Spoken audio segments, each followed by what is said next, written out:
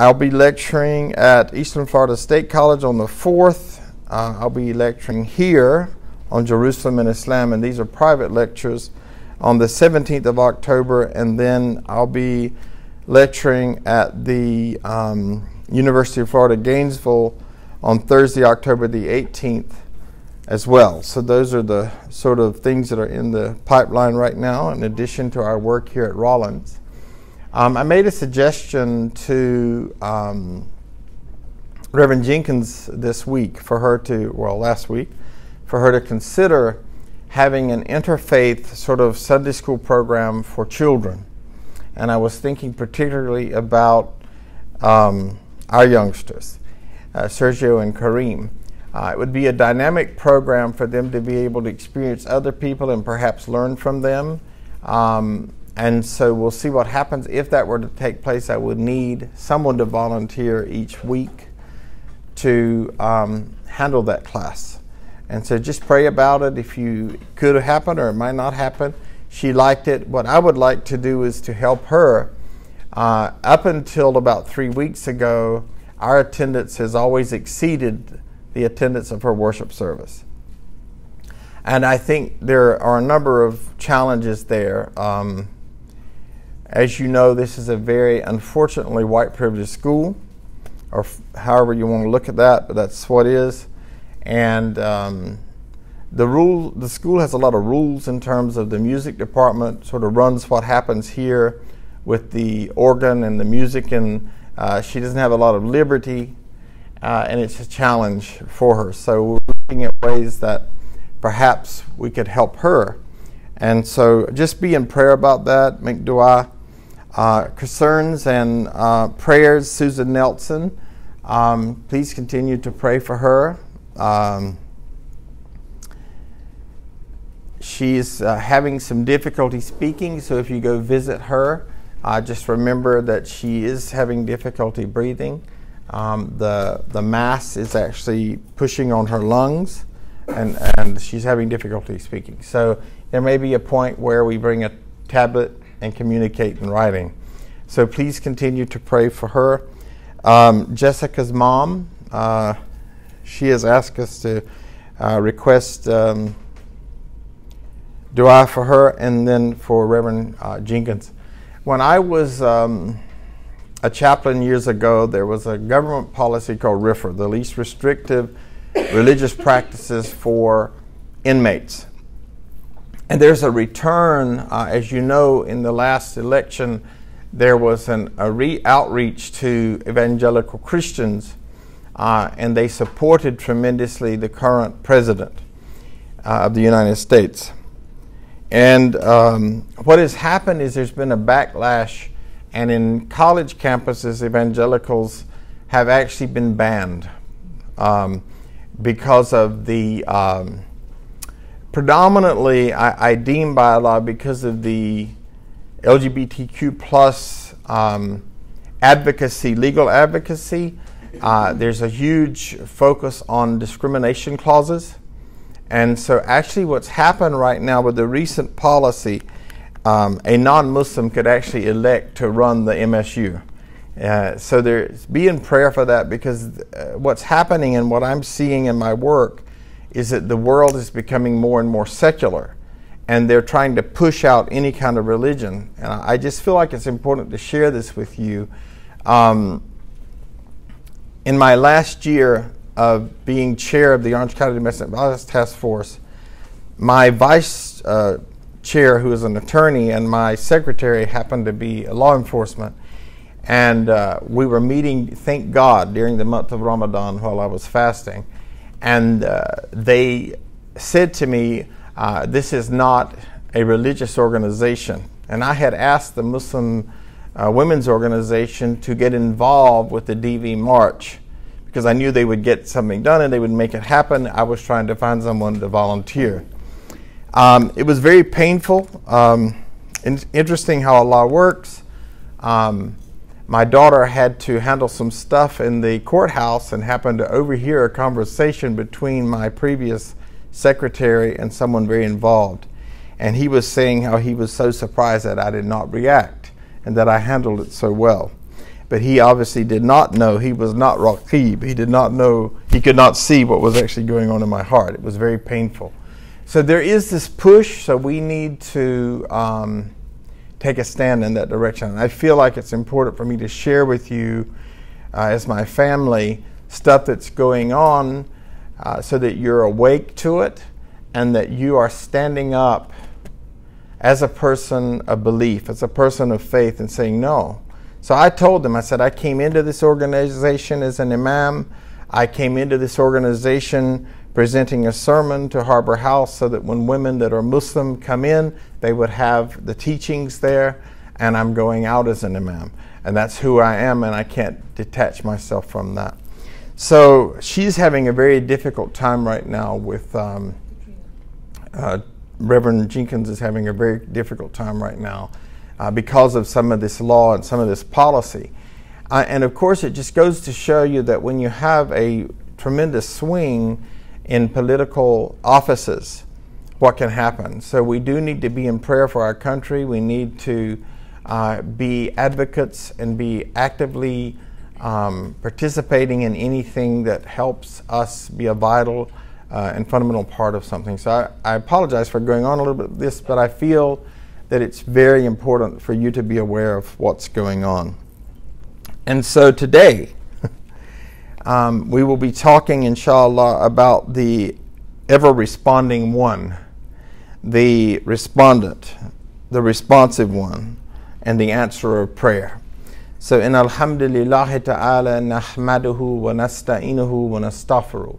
ونعوذ بالله من شرور أنفسنا ومن سيئات أعمالنا ومن يهده الله فلا مضل من يهده الله فضل may, may يذلل فلا هدي له وأشهد أن لا إله إلا الله وحده لا شريك له وأشهد أن محمدا عبده رسوله Indeed, all praise is due to Allah. We praise Him. We seek refuge with Allah from the evil in our soul and from our sinful deeds. Those who are guided by Allah, no one can misguide them. Those who are not guided by Allah, there is no guide for them. I bear witness that there is no God, there is no deity worthy of worship except Allah subhanahu wa ta'ala and Muhammad is his servant and messenger. Amma bad. So here you see um, Al Mujib and um, the ever responding one in the Arabiya here and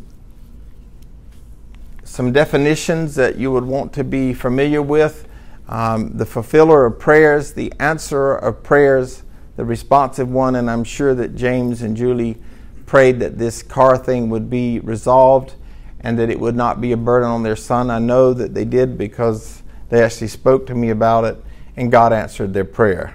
So, the one who answers prayers, the one who responds to needs, the one who penetrates through every obstacle in order to respond, the one who responds to an invitation, the one who responds to requests, prayers, and praise by means of gifts and acceptance.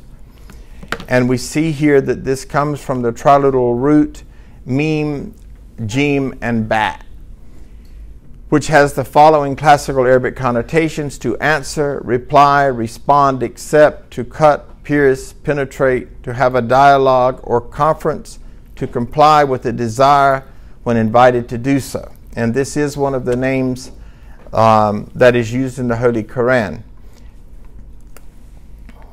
In Surah 11, verse 61, and into the tribe of Thamud we sent their brother Salih.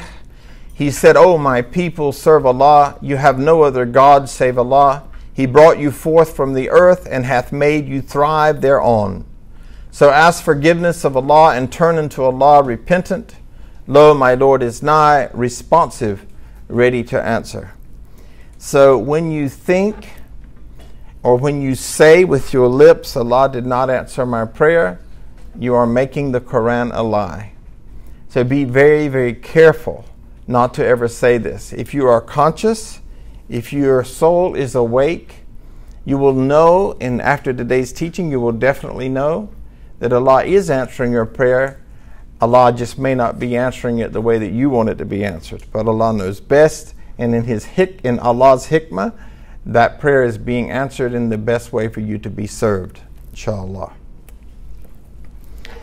And uh, I use classic text, as you know, when I'm teaching, and I like to pull from classic text and share with you and elaborate on that.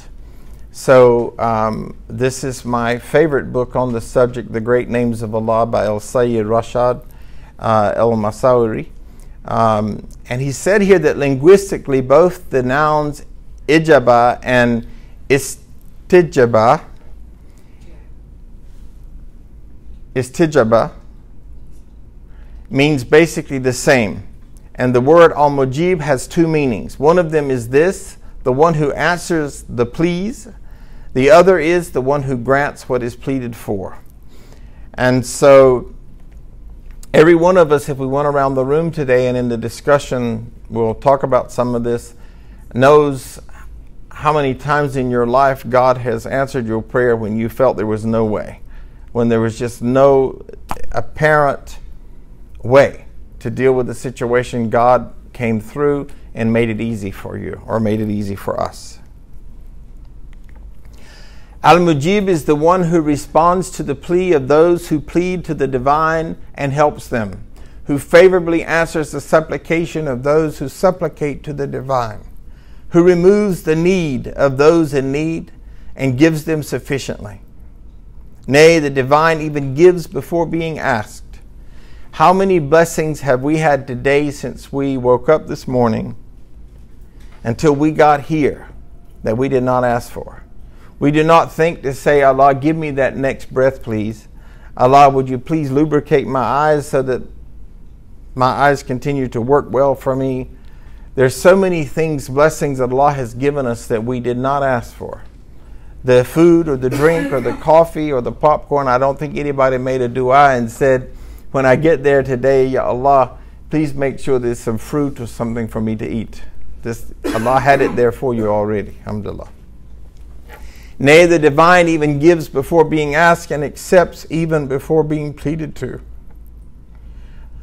The divine knows the need of those who are in need before they pray, and the divine, since eternity, knows all their needs. So the divine has provided them with means to satisfy all their needs. So not only does he satisfy the needs, he gives the means of satisfying the needs. So you may not realize it that you may not get the actual thing, but the means, like that coverage and the insurance that you didn't even know about. So Allah subhanahu wa ta'ala, and this is how it's so important for us to frame in this reference because when we don't, and this is so important, I, am really, I've been very distracted by my recent spiritual contemplations, and they're a beautiful distraction. Coming, becoming so aware of how there are messages that are coming to the qalb. And those messages come from two sources. They either come from the ruh or they come from the nafs. And if you're not aware of what signals are coming to your heart, then what will happen is your akal, your mind, will be deceived, and you will say something from your nafs and you will even be deluded to believe that's from your heart. So, for example, a, a judge, can he make a ruling when he's angry? No, because his actions are being affected by his akal, what he's thinking. And what he's thinking, he can be deluded to believe is from his heart. Do we make the same decisions when we are angry that we make when we're at peace? No. So it is so important for us to have a very deep, thank you, knowledge of our akal, how we think, to have a knowledge of our qalb, and to have a knowledge of our nafs and our ruh. And so rarely are people equipped with this knowledge. And what did the Prophet say? To know yourself is to know Allah. So I encourage you. I have been reading every single verse that has the word qalb, heart, in it. I've been reading every single verse that has mind in it. I've been reading all the verses with ruach, all the, and it's just overwhelming. It's in a beautiful way. It's just a beautifully overwhelming experience. we usually think of overwhelming as difficult, but this is just such a blessing to, to see all of this and how we need to be forever connected, and we need to make sure that what we say with our lips is what would be from our ruh and not our nafs. The divine creates food and other types of sustenance for them. The divine creates tools and the means to get such tools to the hands of those who need them. It is said that Al Mujib is the one who responds to the pleas of those who plead to the divine, and that the divine, since time immemorial, knew in advance that they needed what they needed. The divine is the one who comes to the rescue of those who are in dire need of help, and the divine does not disappoint anyone who pleads to the divine. So, yesterday, Hanima was in a car accident. Someone hit her from behind. And what a blessing, she said, because her mom happened to be there. They were going to feed the homeless. So her mom was there and she talked about the calming effect. So she didn't get in that car and say, Ya Allah, if I have an accident today, please let my mommy be there for me. But he gave that to her, that blessing of her mom being there. And actually, a lady that plays uh, pickleball with Naran heard that she was feeding the homeless. She said, I've never done this in my life. Can I join you? And so, what an opportunity for da'wah. So the woman, um, Naran said to the woman, Oh, that's my daughter that just got hit. And the woman said, how, how can you be so calm? So it was, it was a da'wah experience. This subject is repeated several times throughout the text of the Holy Quran, and whenever we're doing contemplation and pondering and reflection on Allah subhanahu wa ta'ala, this is why probably the, one of the greatest books in my library is something called Al Qasis, concordance of the Quran, and it tells me every triliteral root and every single verse that I can find that triliteral root. It's been one of my favorite books for years. Matter of fact, I have a backup copy because the one binding is falling apart from me using it so much. In Surah 37, verse 75, and Nuh called upon us, the most excellent are we to answer the prayer. So here Allah subhanahu wa ta'ala is giving us an example that one of the great prophets of Allah subhanahu wa ta'ala prayed and they answered his prayer. And we know that in the Old English, they and we is referring to Allah subhanahu wa ta'ala. In Surah 3, verse 195, so their Lord accepted their prayer that I will not waste the deed of one who does a good deed among you, whether male or female, each one of you being from the other. And what I love about this verse is that we are reminded about the biological equity in Islam. Because sometimes cultural projections lead our akal to be deluded to believe that women are less than men, and that is a lie. That is not what Allah said.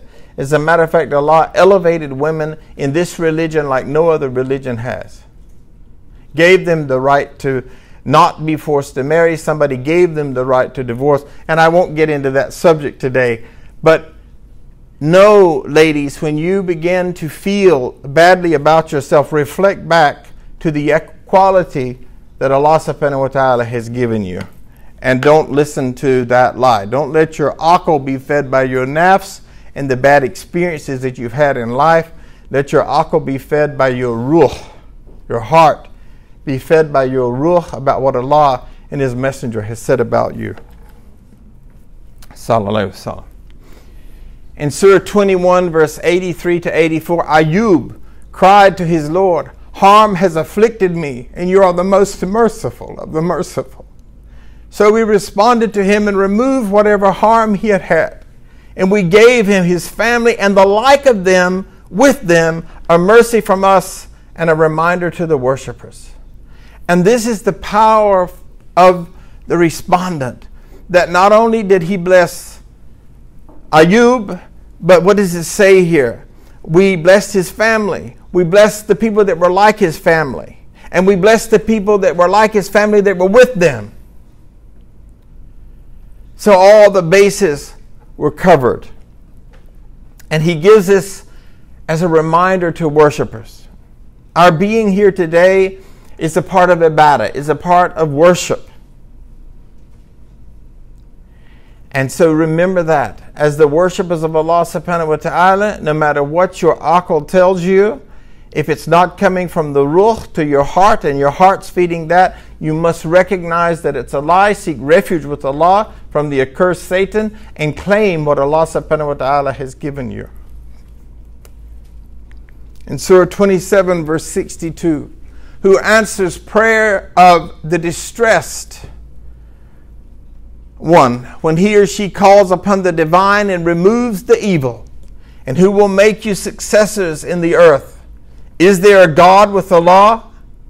Little is that you mind. One translation, and I could, didn't find it yesterday, says, Little is that what you think, or contemplate, or reflect. So here we say, we go along and we say, Allah removes evil. That's how we think as Muslims. And then if it doesn't look like with our eyes, these physical eyes, that He removed it, we know inside of our heart that with our spiritual eyes, it was removed. We might not have the hikmah to understand it, but we know it is removed with our spiritual eyes because Allah said it. In Surah 8, verse 9, you sought aid from your Lord, so the divine answered you, I will assist you with a thousand of the angels following one another. Never think that you are alone. Often I hear people say, I'm so alone. I feel so alone. But Allah subhanahu wa ta'ala has a thousand angels at work for you. Angels that are ruh beings. It is not a part of their makeup to even be evil, to harm. It is only a part of their makeup to please Allah. And we are endeavoring to be ruh beings, not nafs beings. And this word nafs is often poorly translated to soul, and in some contexts that is correct, and in some context, in terms of Islam, it is not correct. It has more than one meaning. In Surah 40, verse 60, and your Lord says, Call upon me, I will answer you. Surely those who are too proud to worship me shall soon enter hell abased. So Allah subhanahu wa ta'ala reminds us here to call upon Him and that He will answer us. And those who do not call upon Allah, He reminds us that maybe you're being proud. And what do we do when we get angry? And the reason we get angry is because we don't have a need met. There's an unmet need there. And instead of looking at what is Allah said about that unmet need, we go to our nafs, our own lower desires, and we spew out of our mouth something from up here instead of something from here.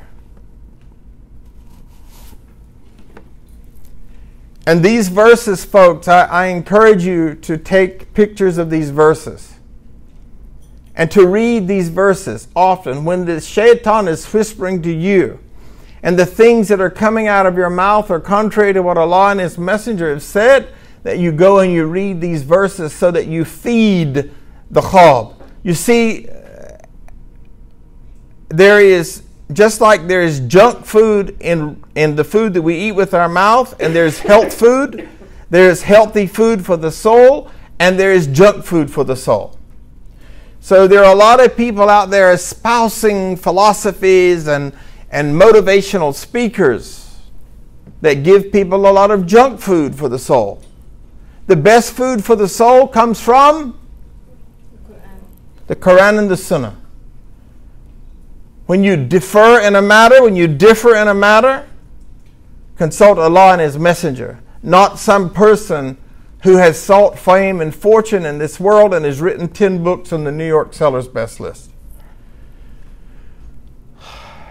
In Surah 13, verse 18, for those who respond to the divine, there is goodness.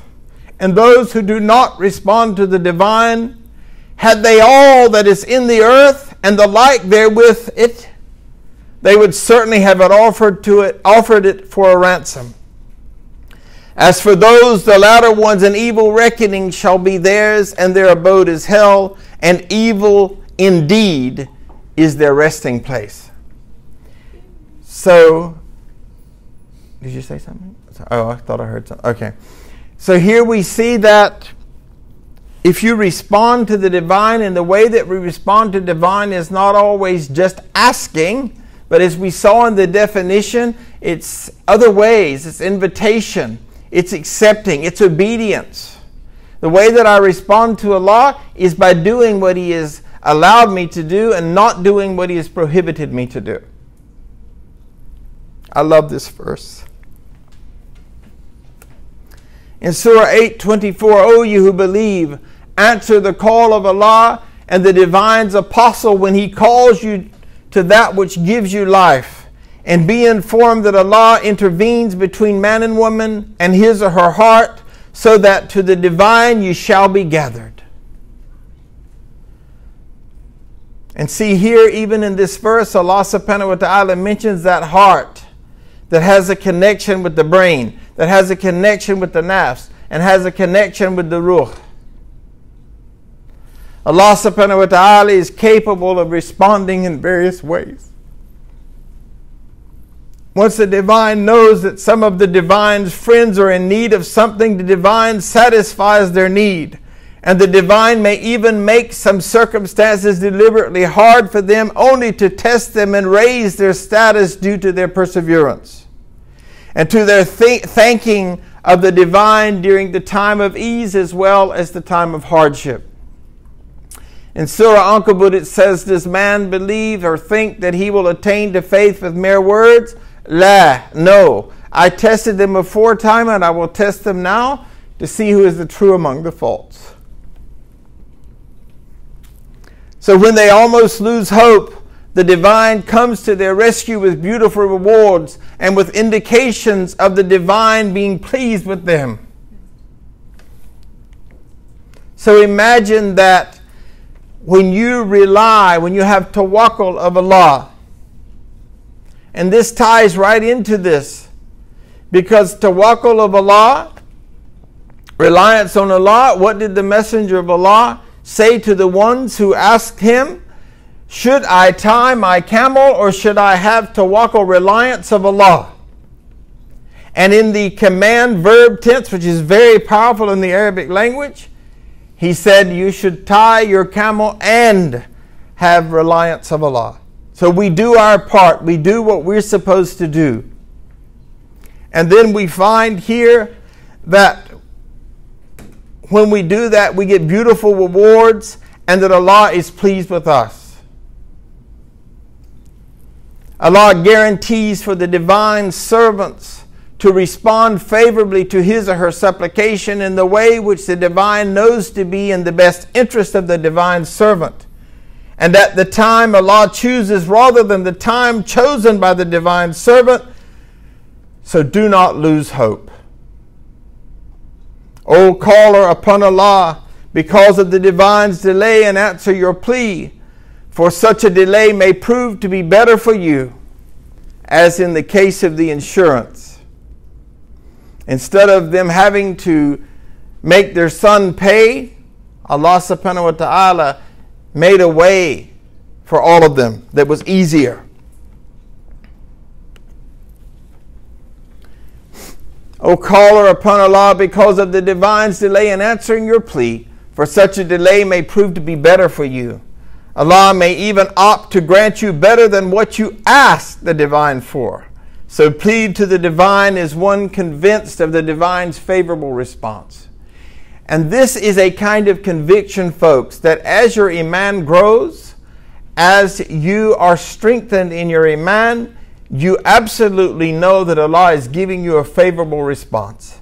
That whatever is happening in your life, there is something amazing, a reward, a gift in it for you. And I realize that we may not all be there yet. But it's the place that we want to be. It's the place that we aspire to be, inshallah.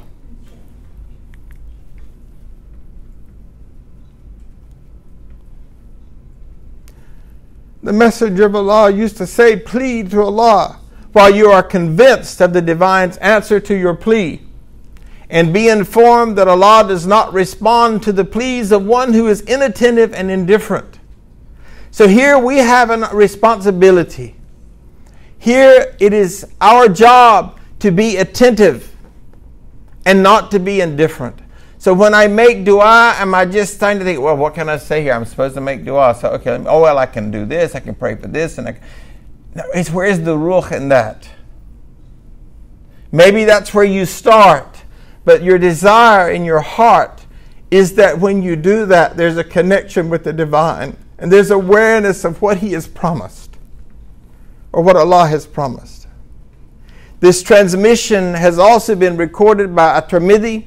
He said, No Muslim pleads to Allah a plea wherein there is no desire for committing a sin nor the severing of the ties of kinship, except that Allah will grant him or her one of three good rewards the divine will either grant him or her an immediate response, or the divine may save the rewards for him or her in the life hereafter, or the divine may keep away its equivalent of evil. What a blessing! What a gift from Allah subhanahu wa ta'ala. So, what is our responsibility here in these ahadith?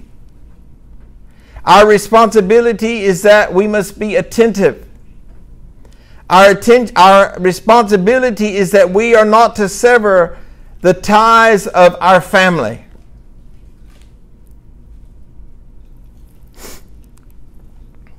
And then Allah subhanahu wa ta'ala in his in Allah's infinite mercy perhaps will keep away an equivalent amount of evil. Or perhaps will reward us in the hereafter or he Allah may grant us immediate response. His companion said, Then we will plead to the divine a great deal. And the messenger of Allah وسلم, said, Surely Allah is still greater. In other words, no matter how much you do, no matter how much you pray, Allah is greater. And when we stand to pray, what do we do? We say, Allahu Akbar and we put the whole world behind us, realizing that there is no better place for us to be. Realizing that nothing is more important than this prayer that I'm about to pray. Al-Razi points out that the lot a servant of Allah may acquire of the inspiration of this great name is to bear in mind that Allah Almighty has invited him or her to obey the Almighty, while he or she pleads to the divine to please him or her. So if one answers Allah's call, the divine too will answer his or hers. Here again, if we want these results, we want to increase the likelihood of our prayers being answered, then what do we have to do? We have to answer Allah's call. And this is the mercy of Allah because we fail so miserably at answering the call of Allah, and yet Allah continues to bless us abundantly. He, Allah subhanahu wa ta'ala, even abundantly blesses those people who are not of faith.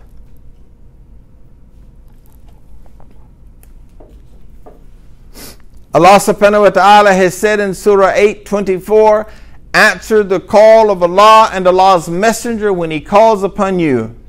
So do answer Allah's call and respond to people when they request something of you. If someone asks you for something, do not rebuke him or her. For Allah subhanahu wa ta'ala says in Surah 94, verse 10, And as for the one who asks, do not chide him or her. And there's such a beautiful story in the Holy Quran.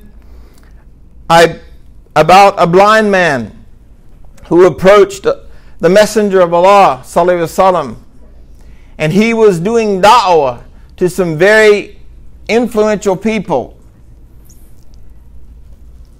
And he sort of, may Allah bless him, overlooked the blind man. Like, I'm busy right now, dude. And so Allah subhanahu wa ta'ala reprimanded the messenger of God in the most beautiful way.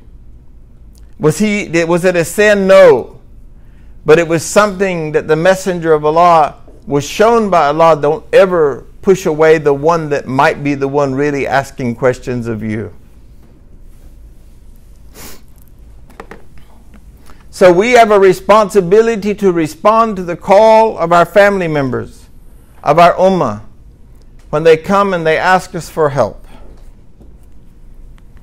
A believer's lot and obligation is to repeat this great name of Allah subhanahu wa ta'ala quite often and to fashion his or her conduct mean, means the satisfying of the needs of those who approach him or her so that Allah may satisfy his or her needs, and he or she has to respond to the pleas of those who plead to him or her so that Allah subhanahu wa ta'ala may respond to his or her pleadings. And when we look at the ruh, and we're talking about the nafs and the connection to the qalb, the heart, and the connection to the brain, we know that everything in Islam is collective.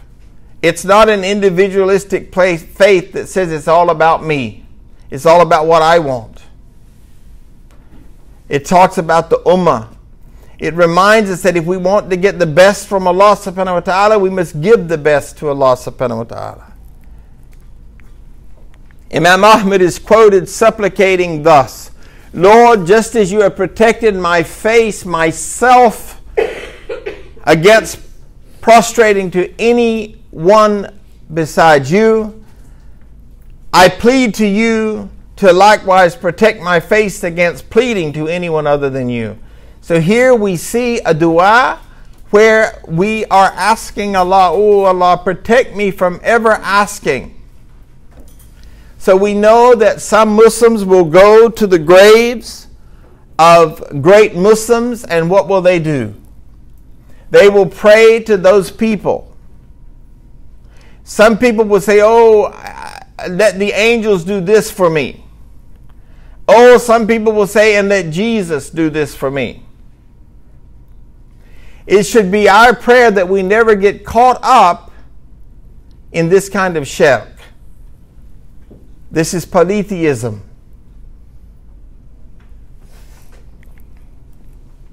Imam Ghazali has indicated that a servant of Allah should first respond to the call of his or her Lord. Glory and exalted to the divine and whatever the divine has ordered him or her to do or not to do, and to respond to whatever the divine has created him or her to do, then to the divine servants through whatever the divine has blessed him or her of means of helping them in making anyone who approaches him or her for a favor happy by doing so, or by giving them a beautiful answer if he or she cannot. And oftentimes people say to me, I'm not going to give that homeless person any money. They probably on drugs anyway. And I think, oh my God, what about the mercy of Allah? There, by the mercy of Allah, go I. I could be there. I could be that person. And what does that speak to? It speaks a lot about where we are operating from.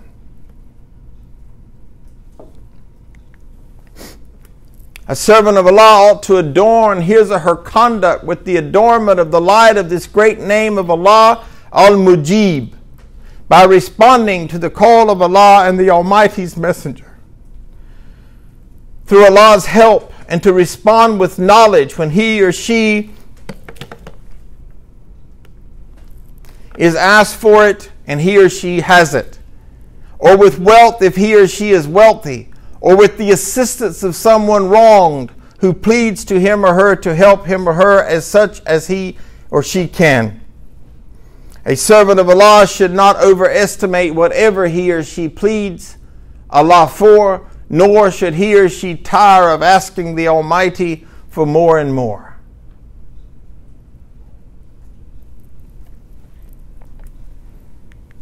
The Messenger of Allah وسلم, has said, when you have a plea and whenever you need help, seek help from Allah. Allah is too shy to disappoint any servants who pleads to the divine for what is good. Verily, Allah is shy to leave Allah's servants empty handed. And I just lifted a few ahadith regarding Allah's desire subhanahu wa ta'ala to hear from you.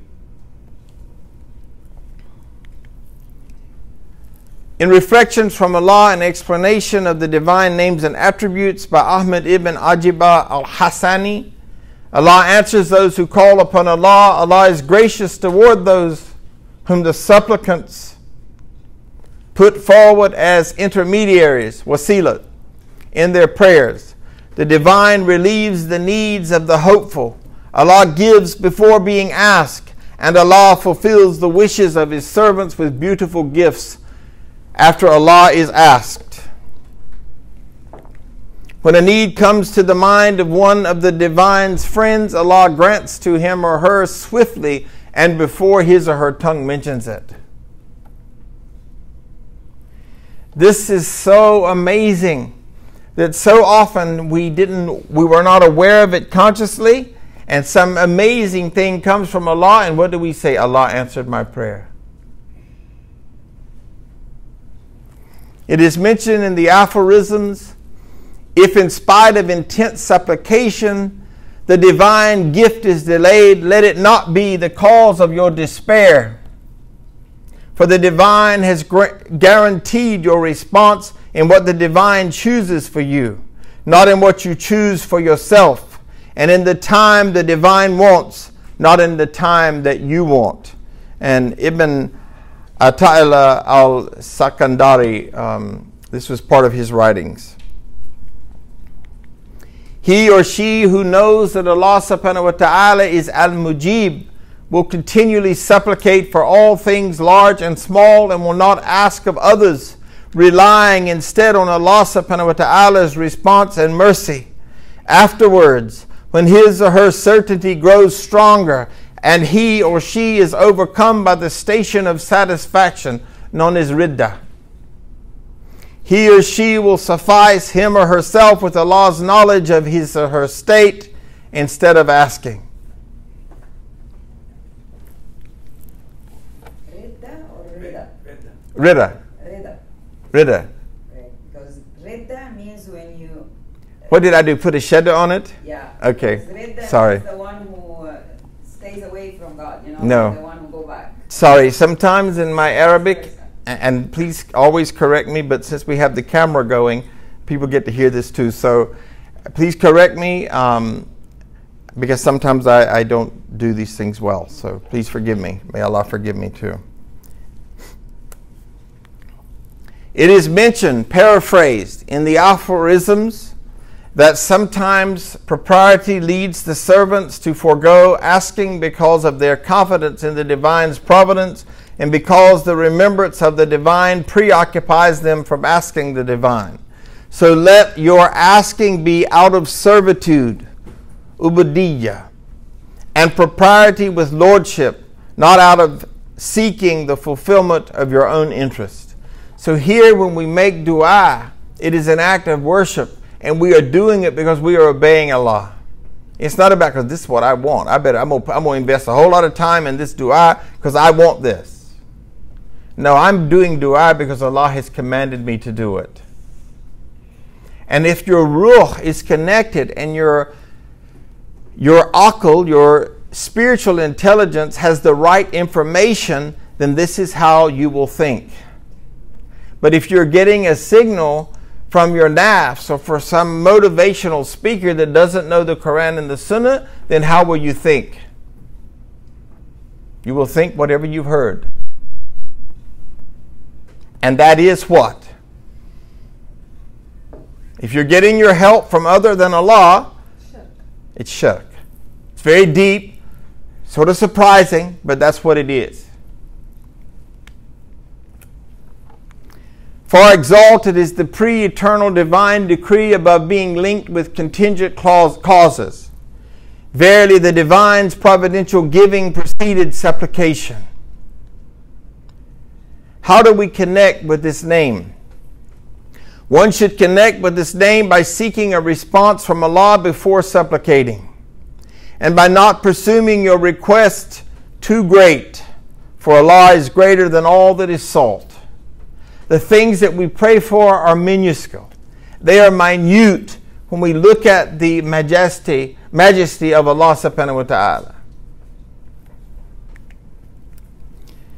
How do we cultivate this name in our character? One should cultivate this name in their character by responding to those who ask your help in religious or worldly matters. For never was the messenger of Allah asked for something to which he said no.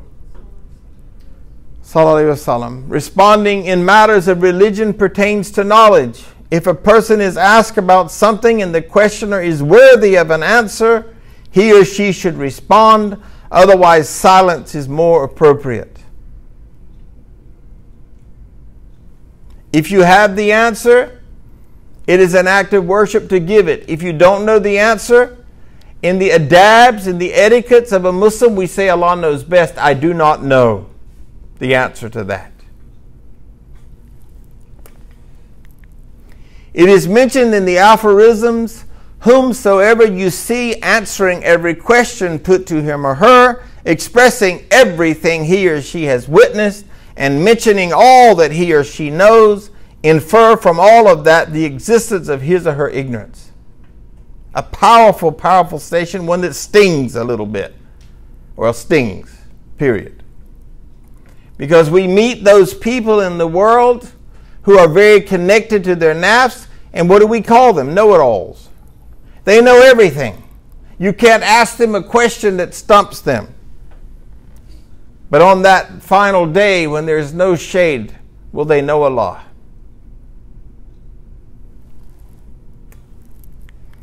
Realization of this name, and may Allah protect us from being among those people.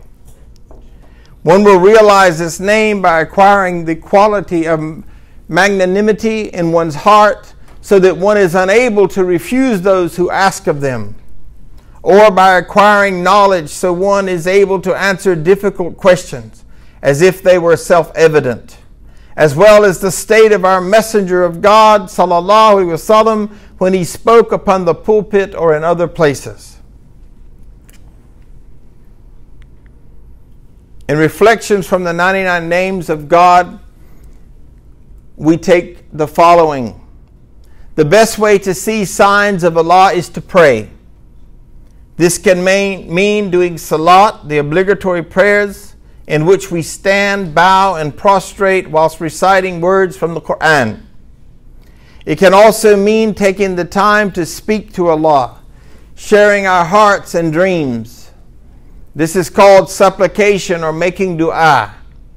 It can also mean doing dhikr, repeating the beautiful names of Allah with reverence, love, and gratitude. So I'm praying, it is my dua that as you are learning these names, that periodically you review them and you call on Allah, and your part of remembering Allah and being connected with the divine is knowing that particular attribute which you're looking for in Allah in that moment.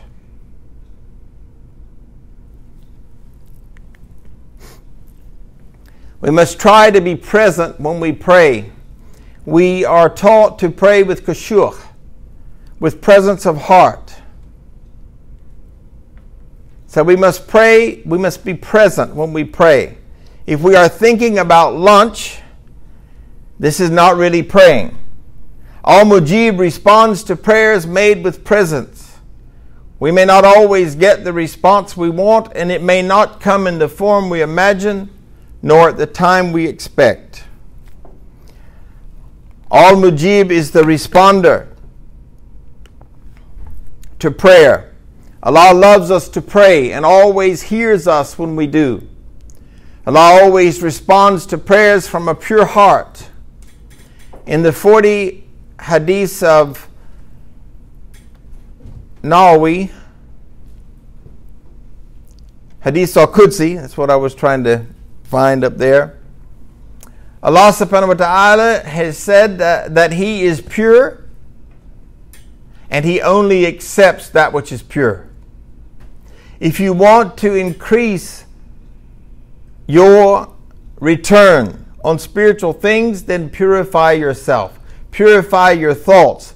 Purify what you listen to. Purify where you go. And we have to be very careful. PG 13 is a very iffy character. So this week I thought, oh, I can go to a movie, it's PG 13. And uh, in that movie, there was nudity. I cannot imagine this that in a PG 13 movie there would be nudity. So you have to be very careful about what you subject your eyes to. And your nafs will tell you, oh, it's just everybody, that's everybody sees that. I mean, even children at school. They will, it will try to justify your bringing contamination to your soul. So I ask Allah to help me and to help you so that we become aware, that we are cautious about the diet, the spiritual diet that we have.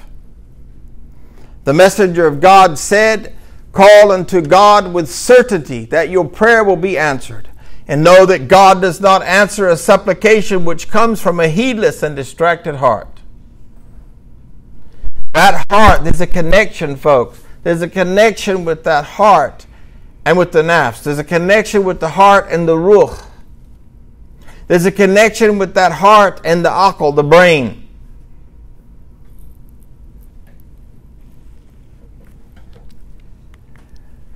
God responds. And I love this story. I remember hearing this story as a child. A man whose house was in the middle of a flood prayed to be saved. A neighbor came by in a rowboat and shouted, Get in! No! The man replied, God will save me. The water rose, so the man went upstairs. The police came by in a motorboat and shouted, Get in! No, he said, God will save me. Finally, the man was standing on the roof of his house because the water had reached so high. When a helicopter flew over, dropping a ladder, they shouted, Grab on and come into the helicopter. The man replied, No, and shouted back, God will save me. After he was swept away and drowned, he asked God, Why didn't you save me? God said, Didn't I send two boats and a helicopter?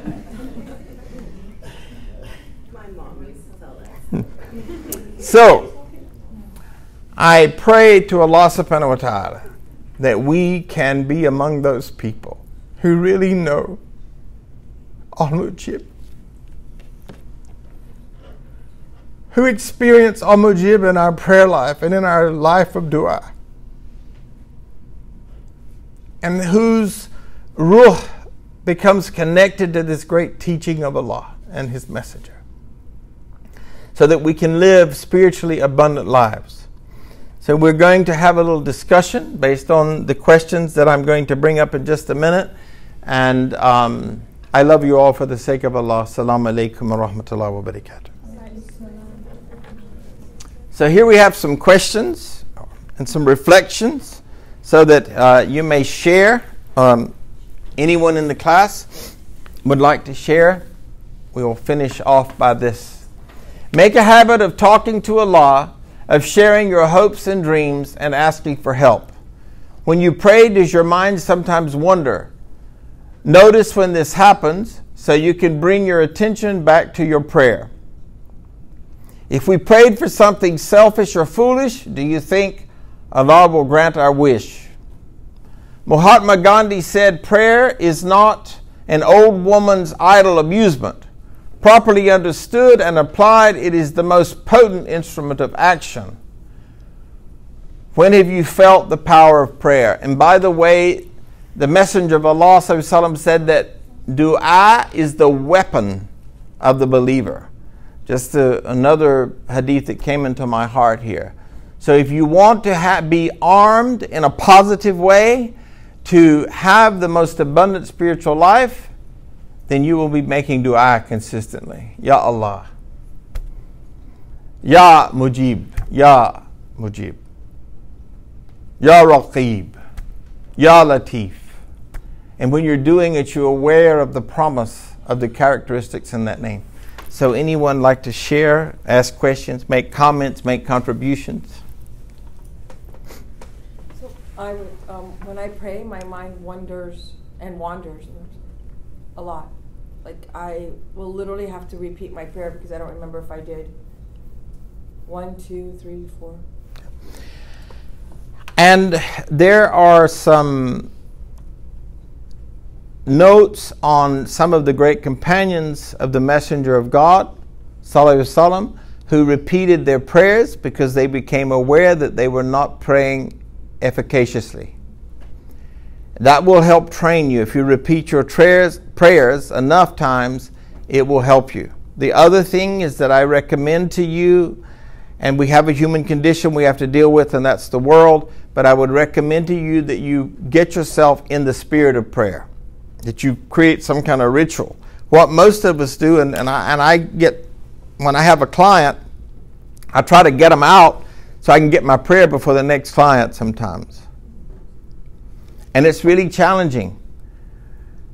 So we look for ways, we work hard to try to get that prayer in and to get it prayed on time. Did that?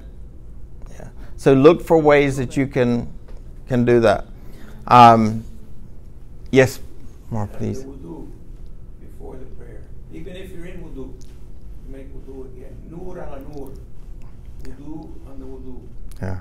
To just freshen you up and make you more Now, I think that's amazing, um, Omar, because what I used to do and uh, periodically go back to that is I think about, I actually process the wudu. So I'm actually washing my hands all the way up to my elbow in order to remind me that I want to keep this clean. I want everything that happens with this must be clean.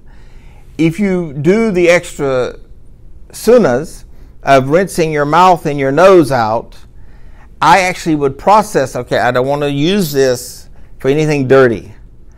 And I'm going to keep my nose, I, this is just how I used to think, I'm going to keep my nose out of other people's business. So I'm cleaning my nose. And then I, I'm wiping down, I'm cooling off this egotistical head of mine that thinks it's so great. So I, I bring my hands over my head. So I would process that as I did that. Um, and that really, really helped me is to really think about what am I doing here? And, and, and let me share with you with, with all the hub in my heart, all the love in my heart. When you hear the adhan, what's happening? Allah is calling you. Allah is calling you to prayer. And what happens, and this is a disease, people think, I've got to finish my story. So the adhan, God has called you to prayer, and you are talking now, you've speeded up because what you've got is so important. What are we supposed to do when you hear the adhan? Repeat it You're supposed to repeat it and ponder and reflect. and ponder and reflect over it and prepare yourself for the Ikama. And you- the prayer too, like when Imam, the Muezzin is saying, Hayya al-falah, hayya al-falah, then you say, La, la hawla wa la The hawla wa la- And so, I was, you took my uh, lines. Thank you, sister. I, I love it. I love this. So, absolutely. So, if you want to know something, when you hear that adhan, close your mouth, zip it, zip your lip, tater chip. That's it. I'm not talking now. And get in the habit of saying, bring yourself to the prayer. Because how can you get there when you're telling a story that has to do with the dunya? All of a sudden, the person starts calling the akama, and your story is so important, you're still talking. Now, I'm not whipping you, I'm not spanking you, I'm not beating you up. I'm giving you a message of love. I'm feeling it. Because You can, you can explain when, uh, Alhamdulillah, what is the meaning Yeah.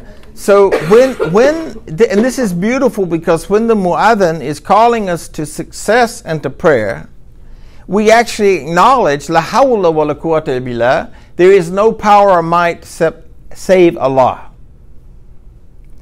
Now imagine I'm telling a story about the world, and I don't even know what I've said. I'm not aware that there's no power or might of Allah because the only power that's going on right now is I'm running my lip. So if you really, really want to get into the, the state of prayer, khushu', the first habit you want to get is when you hear the then you stop talking. I don't care what you're talking about, you stop talking. Yeah, there are like different ways of praying. Like for example, sometimes after the salah, there is a masnoon uh, dua which Prophet sallallahu alaihi used to say. So it's like a you know Mhm. all written and you memorize those. And the some like having conversation like he's right here with you, and you're having conversation like a daily problem conversation, and you're asking him to you know whatever you need. So there's another kind of asking him. And the one kind Allah said, if you keep if you keep doing zikr of Allah, zikr means anything, namaz, salah, Quran, dhikr, then Allah said, I will give you more than the people they ask me. Yes. And there's in the last way, like Allah said, if you run for someone, I will run for you. Yes. So there is another way if Hmm. you want to, you know, accept your dua to be accept, to help others, so Allah will help you. Other comments, questions, sharing? How about anyone when uh, you've actually felt the power of prayer? So many times, unlimited. Yeah. Unlimited. Unlimited. When you didn't think a bill was going to get paid, and then all of a sudden you got money you weren't expecting. Sometimes I tell people I'm a walking miracle. Hmm. If you don't believe on miracles, look at me, uh, my story in my life, how Allah helped me out from Hmm. bad times. Anything else? Okay. Um, oh, yes, sorry, thank you. I wanted to ask, um, you were mentioning some parts about how you sometimes, we don't know if we're following our nafs or our actual soul. And I wanted to ask, what do you do personally to make sure that you're keeping your ego in check? You know what I mean? hmm I know what you mean. Um, well, I, I am very attentive to the sensations in my body. Um, I don't know if this is going to sound strange to you. May Allah help us all. But I, what I know, the, the Prophet ﷺ said to know yourself is to know Allah. And so when I receive a certain sensation in my body, it's a message. It's like the self approaching soul. If I don't feel good about something, I trust that. So you're intuitive. And so maybe intuition is, is the word because uh, of ilham of wahi the one of the eight forms of revelation that's still available human beings is inspiration nobody's going to get any more revelation that's done there's a seal on that but god in his infinite love for us does inspire us to have feelings that guide us. So you'll get a you'll get like not a verbal message like you're schizophrenic or something, but you just get this message like I don't need to be here. This this is not a good place for me to be. So I obey, I trust my feelings, but I examine them against Quran and Sunnah. That's one way I know I'm I know that I'm from my ruh and not from my nafs. Because if, for example, uh, someone is gossiping and you say to them, you know, you might not want to talk about that person because they might not like what you're saying and it's not healthy. The person says, I know, but it's the truth. Your nafus may desire to hear it, but your ruh will say that my messenger, may Allah be pleased with him, said that even if it's the truth, you do not reveal it except for certain situations. So you always examine is my is what's coming from my akal, is the signal that's coming to my heart and moving up and it's about to spew it out, vomit it out, is it coming from the messenger and Allah, or is it coming from my own desires? And that's how I do it. Um, this I, I deem by Allah that this peace that it's so invaluable for us to become aware of who we are, to measure ourselves as to where we are moving in our iman. You know, am I awake most of the time spiritually? Am I aware, or about half the time I'm walking and sleepwalking? I'm on automatic pilot. Well, I'm a alhamdulillah, I'm a Muslim. Salam alaikum. But the next second, I'm doing something that's, in most of the seconds, I'm doing something, and I'm saying hypothetical here. If I'm doing something that isn't aligning itself with the characteristic of a Muslim, then how can that be from my ruh? This is why um, Aqidah, correct understanding, is so vital to the Muslim. So when, when you go to the masajid uh, after becoming a Muslim, all these people say, Islam, we're supposed to do so and so. But they don't give you the proofs, the dalil. So you go and you tell the next person, oh, well, the, the, somebody told me in the masjid I'm supposed to do so and so. So there's an uncertainty there because you haven't been given the proofs.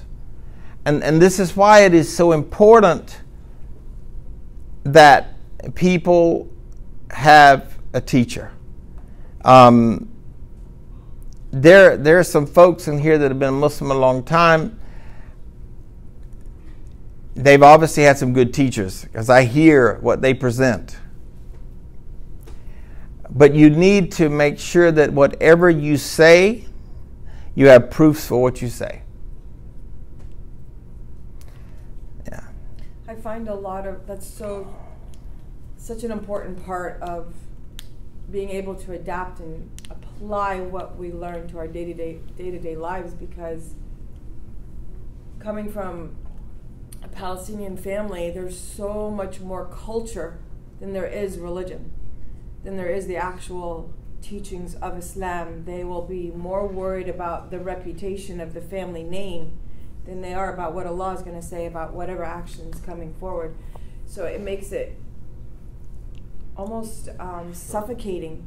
Struggle. It's a huge struggle, but it's like suffocating to be around because you're like, who cares what this person thinks or that person thinks? This is, we're ultimately going to answer to Allah. No one's going to be able to fend for me or help me on that day. So it's just.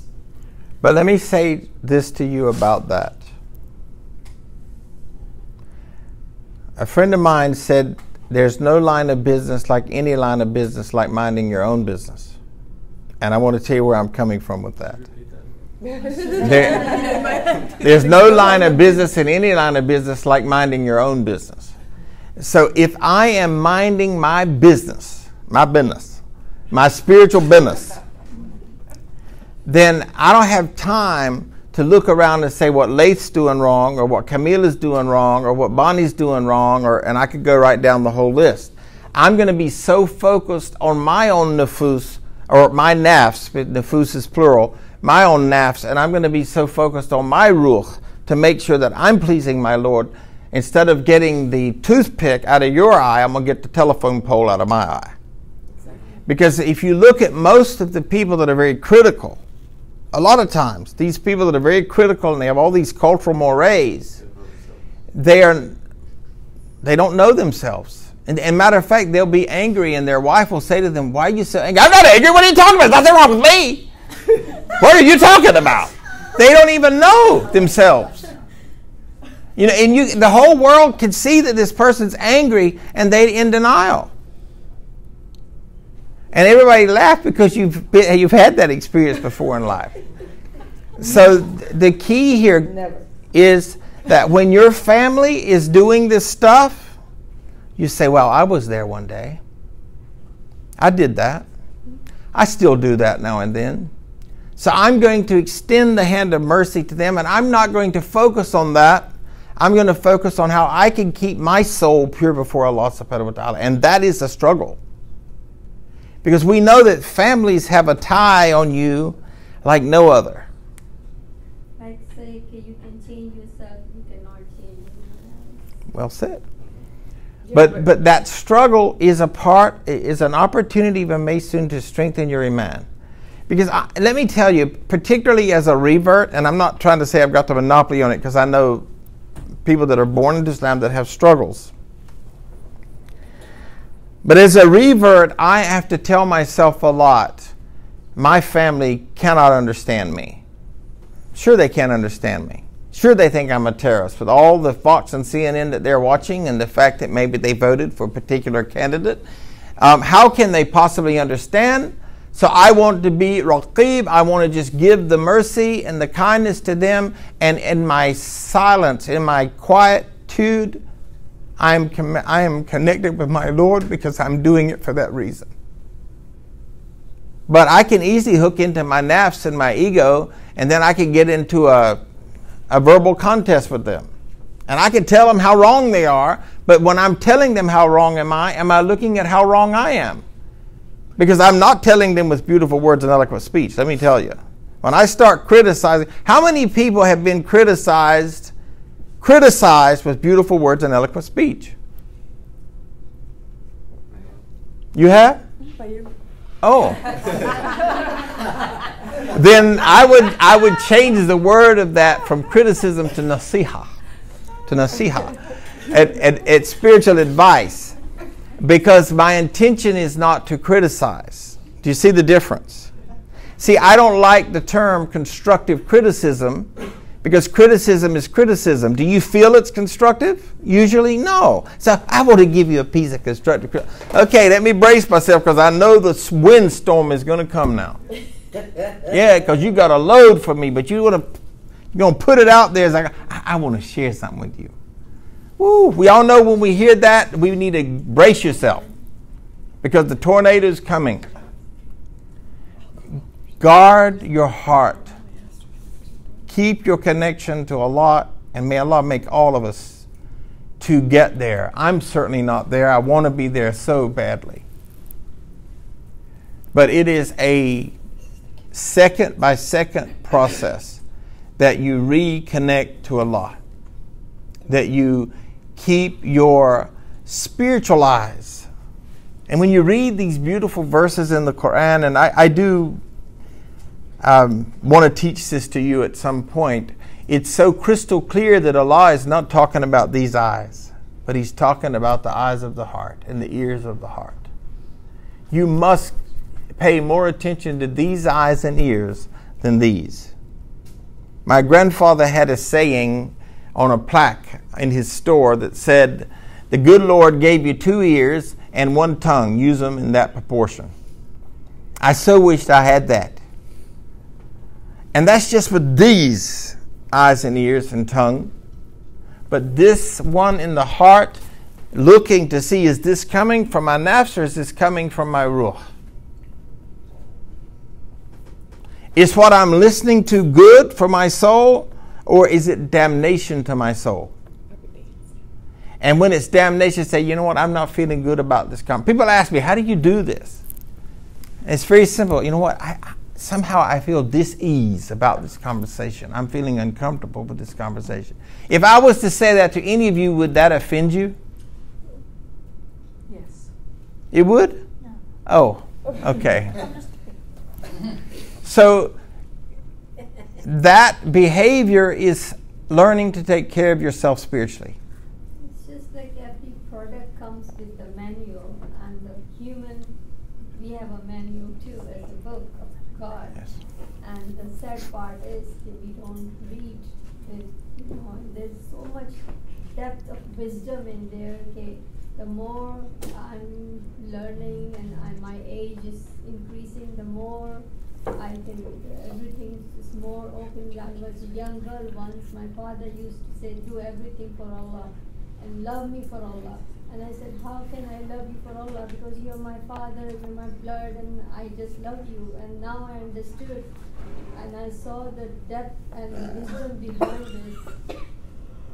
Sometimes, for example, you, you have like a husband or child, and if, if, if you if you if they are doing something wrong with you, and you're loving them for Allah, then you will overcome that easily. Otherwise, there will be a small revenge in your heart.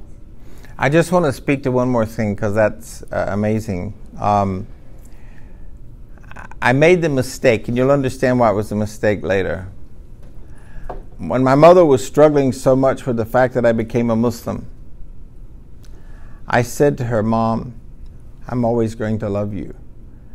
I'm going to love you because Allah has commanded that from me. She said, I don't want you to love me because of Allah. I want you to love me because I'm your mother. But that's the. But you got to understand, you got to meet people where they're at, folks. My mother, first of all, is resistant to Allah as a concept. She can't understand, she's not willing to listen. And so she became to think about her nafs, her ego, I. I want you to love me because of who I am. But she doesn't know that. So since I know that, I have a responsibility to let it go. Say peace to the ignorant. This is what the Quran says. Say peace. I'm not being dis- derogatory. She literally does not know that information. So it wasn't a compliment to her. To me, I thought, oh my God, this is amazing. You, you've cut me out of your will. You refused me to come to your home. You've done all these things. And now you're not happy that I, I'm going to love you no matter what you do to me? So you have to know that sometimes people will not understand where you're coming from if you are operating according to the Quran and the Sunnah. They are ignorant of that and they cannot understand. In the Bible, there's an interesting verse that said, The natural man receiveth not the things of the Spirit, for they are foolishness to him. And we, we have to know that this is the case. So I love you all for the sake of Allah. Is there any more comment? Just one more time. Anybody? Yes, Thank Omar. you so much. Yeah, this, this Omar here. That is common. They are veiled. Yes. They, the concept of Allah does not pass the veil. Yeah. They're locked out. And, and you have to recognize that. And, and alhamdulillah, our mercy is that that veil is lifted. Yes. And that's our dua and our prayer. That, and every day I pray, Oh Allah, please bring my mom to Islam. Inshallah. So my father came, my stepmother came. Now all we're waiting for is my mom to come. Inshallah. Assalamu alaikum wa rahmatullahi wa barakatuh.